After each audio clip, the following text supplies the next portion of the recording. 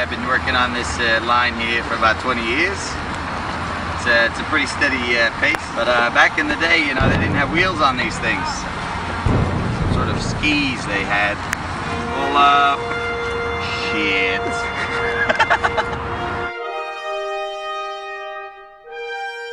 Seventeen, 14, 13 and a half people. Mm, I think it's got something to do with the scheduling.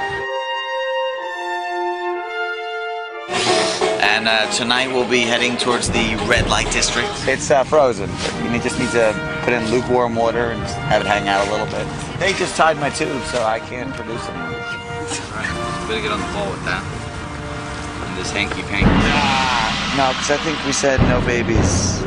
I am not sure. I don't remember. One day he had the runs and he was in the shower bathroom couple all day. This will, of course, cause some people to squeam in their boots.